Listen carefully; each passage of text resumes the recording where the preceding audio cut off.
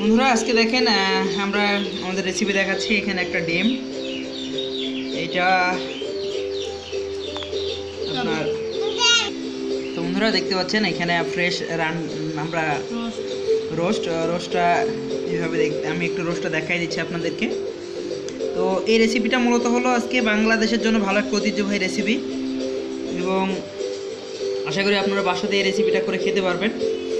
এইখানে আমরা আর ডিম সব কিছু এগুলো আপনার প্রায় টোটাল বাজেট পড়বে এই খাবারটা দুশো সত্তর টাকা।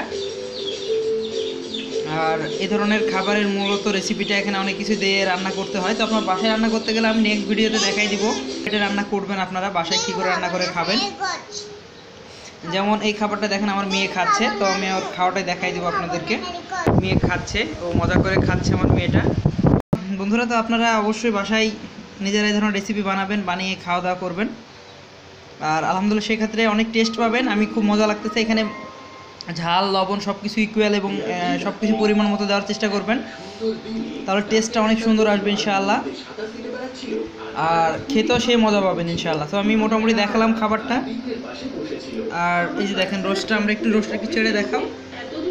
হাতে নাও। এই যে দেখেন, আর রোস্টটা আমরা একটু দেখেন, দেখা দেখালাম বন্ধুরা, তো এইভাবে। সেটা বলার মুরগিটা হতে পারে, দেশি মুরগির বা পর্ক মুরগিও নিতে পারেন। তো বন্ধুরা, দেখা হবে নেক্সট ভিডিওতে, ইনশাআল্লাহ। আজকের মতো এখানেই। সুস্থ থাকেন।